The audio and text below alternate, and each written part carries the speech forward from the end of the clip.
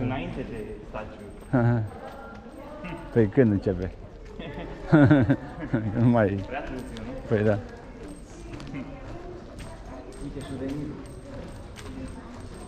Hai mă, Vreau să unde curiozitatea.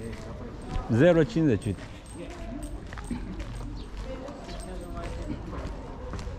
Băi, ce aproape eram și ne-am dus ca proști acolo.